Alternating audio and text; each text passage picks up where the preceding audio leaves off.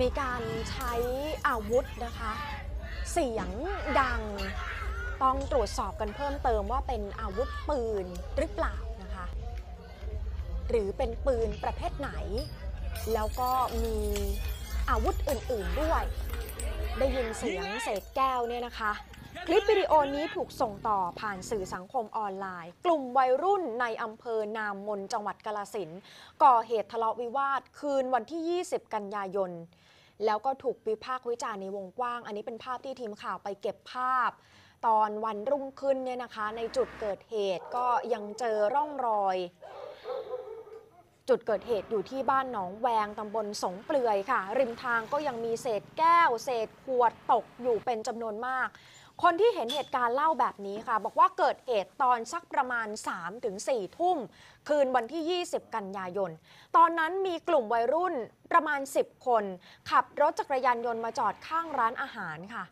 แล้วคนที่เห็นเหตุการณ์เนี่ยเขาบอกว่าใช้ปืนแก๊ปนะคะครับยิงขู่คู่อาริ แล้วก็มีการใช้ขวดฟาดเข้าใส่หากัน ลักษณะยกพวกตะลุมบอลเลยค่ะ ซึ่งชาวบ้านที่อยู่ระแวกนั้นต้องพาลูกหลานหลบเข้าไปอยู่ในที่ปลอดภัย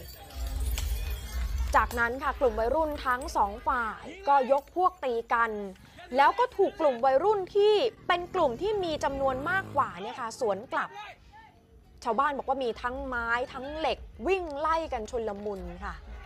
แล้วในวันนั้นแถวๆนั้นมีงานเลี้ยงเกษียณด้วยนะคะ อยู่ที่ร้านอาหารห่างไปสักประมาณร้อยเมตรเท่านั้นเองค่ะ แต่ไม่แน่ใจว่า